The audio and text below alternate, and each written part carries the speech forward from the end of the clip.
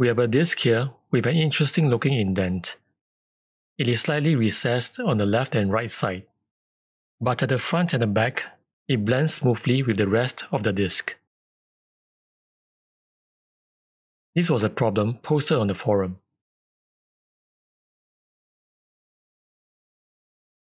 Let's take a look at a few approaches. I will start with a disc. This is a simple revolve of a profile consisting of an arc joined with two straight lines.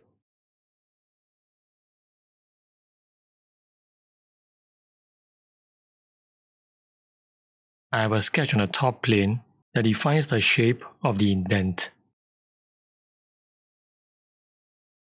This consists of four arcs. I'm going to start with a relatively simple and quick way. Go to Modify, Split Face. Select the top face of the disk to split. For splitting tool, click on the select box and select the sketch. We do not actually need to delete this split face. The split face was done so that we can have these two edges to serve as our profiles for lofting. I am going to change the color of the body so that we can see the lofted surface better. Activate the Surface tab. Go to Create, Loft. We shall loft from this edge to this edge. Set both continuity options to curvature and align to a surface.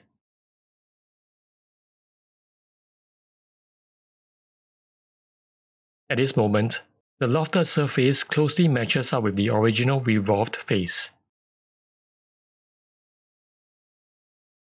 In order to make it duck down slightly, we can change the tangency. Select Profile 1.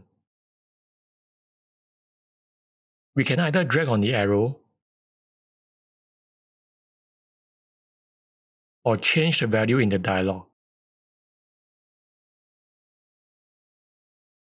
Select Profile 2 and do the same. By doing this, we have made the lofted surface slightly under the revolved face. There is a limit to how much this can be adjusted before it fails. Activate the Solid tab and begin an extrude. We are going to use the same profile that was used to perform the split face earlier. It does not matter that our sketch is below the lofted surface. For the start condition, select Object.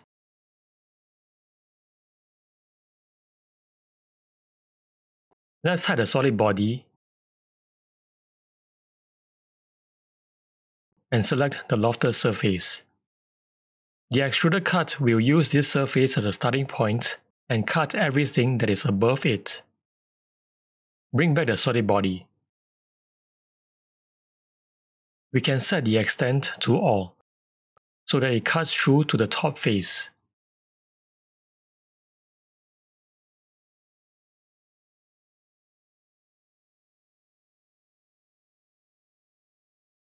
Let's hide the lofted surface body. This method only allows for a relatively small recess depth.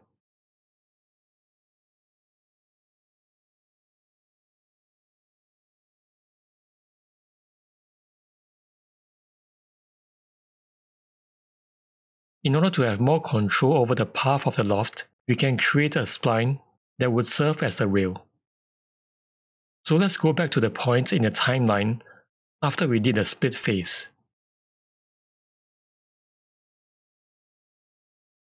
From here, perform a sketch on the right plane.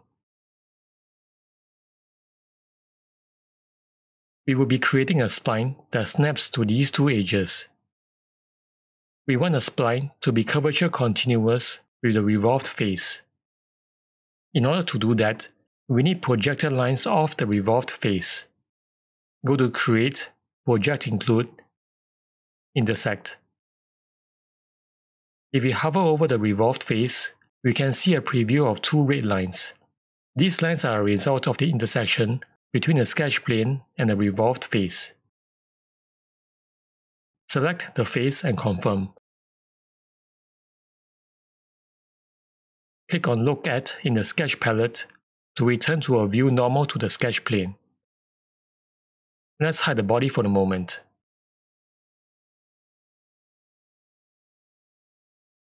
Begin a control point spline. After some experimenting, I found that creating four control frame points work best in this scenario. Do experiment with this yourself. Snap one end of the spline to this point. Drop the following four points.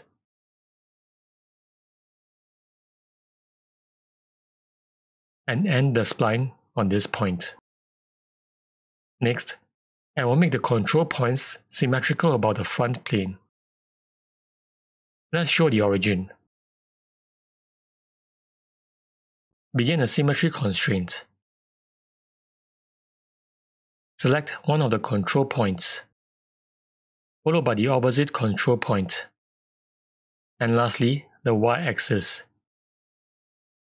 Do the same for this pair of points.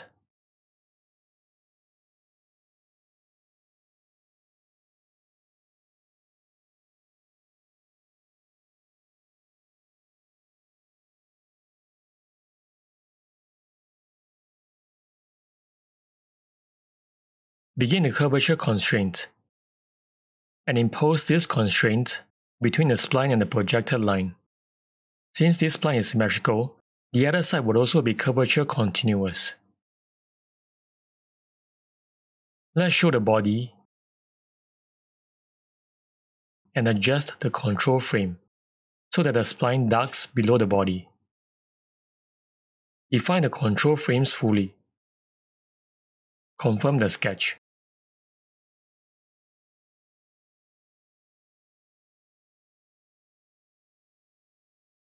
Let's roll the timeline forward.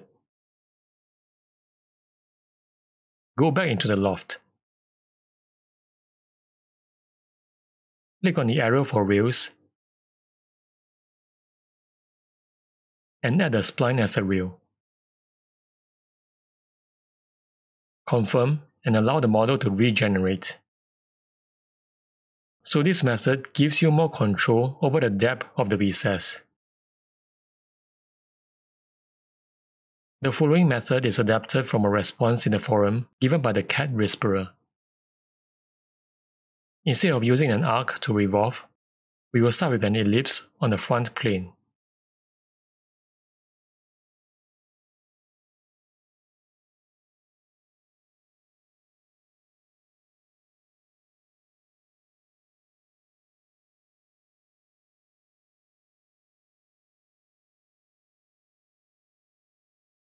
To create the profile for revolve, I will add these two lines.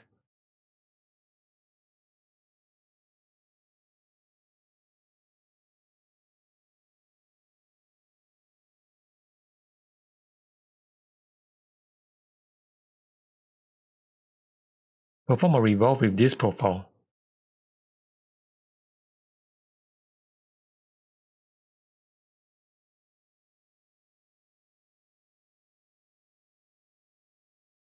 In this workflow, the indented surface is treated as a revolve also, using a spline that is slightly below the elliptical face. So let's begin a sketch on the same plane as the ellipse.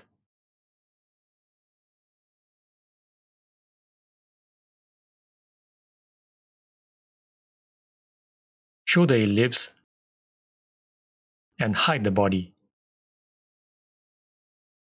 Begin a fit point spline.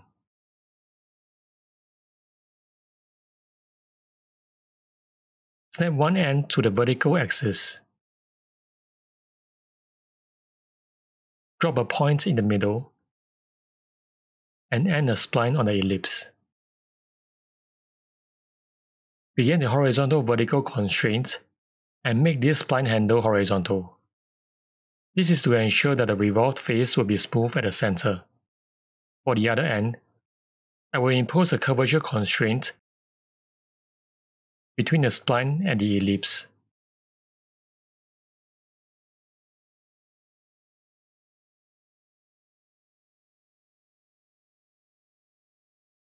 Confirm the sketch.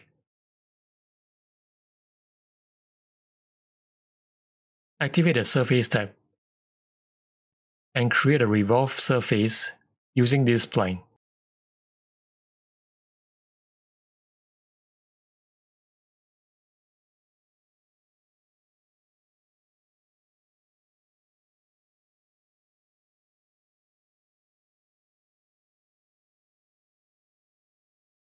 Next, I will begin a sketch on the top plane.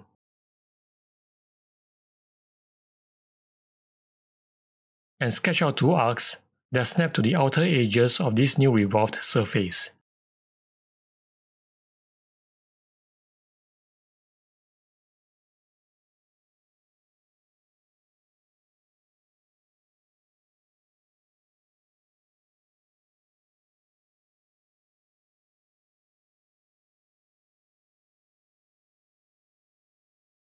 So we now have a profile from which to perform the extrude.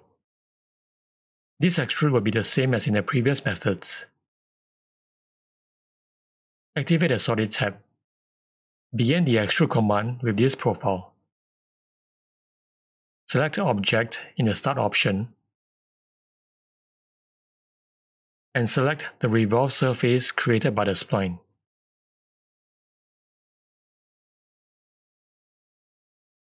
Let's show the solid body.